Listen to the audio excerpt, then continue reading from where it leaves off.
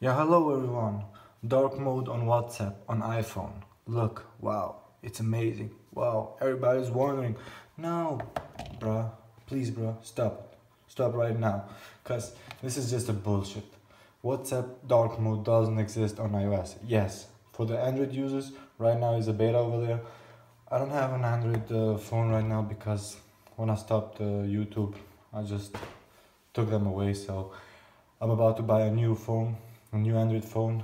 I'm about to go to with Xiaomi, Xiaomi, called how you want it, that Note 10. So I will do a reveal when I buy. But dark mode on iPhone doesn't exist. So uh, stop wasting your time watching this type of videos because they are only clickbait.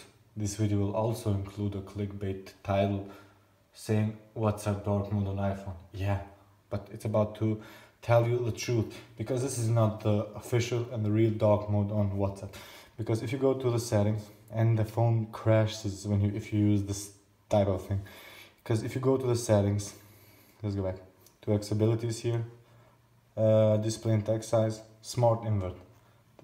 When you when you enable this this setting here, okay, you will get that dark mode. But WhatsApp dark mode doesn't even exist. I saw some videos on YouTube, people doing clickbaits like that, but stop wasting your time. And uh, the next update from WhatsApp, I believe, is going to be a dark, a fully dark mode for every single device.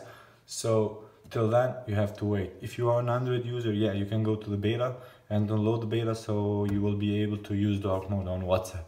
But to the final release, I don't believe it's going to be a long time, but I'll put the link in the description from a friend of me uh, who shot out uh, last time's my video.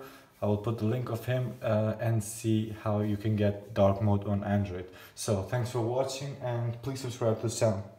Peace out, love.